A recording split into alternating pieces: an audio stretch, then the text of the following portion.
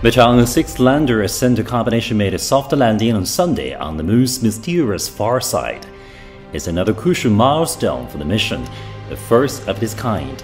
The probe had been launched on May 3rd and entered lunar orbit on May 8th. The landing went smoothly as planned. The whole flight went exactly as we expected. The performance was perfect. I feel very excited, but I dare not relax because we're going to start the key part of this mission, collecting samples from the far side of the moon.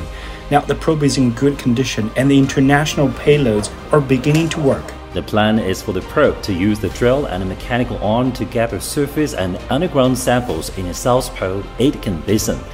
It's the largest, oldest, and deepest basin found on the Moon process will take about two days, and the Aerospace Control Center will be keeping a close eye.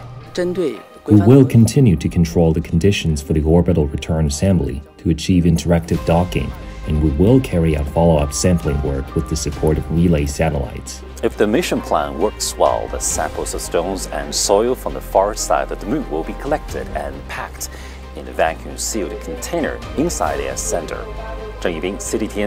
Beijing.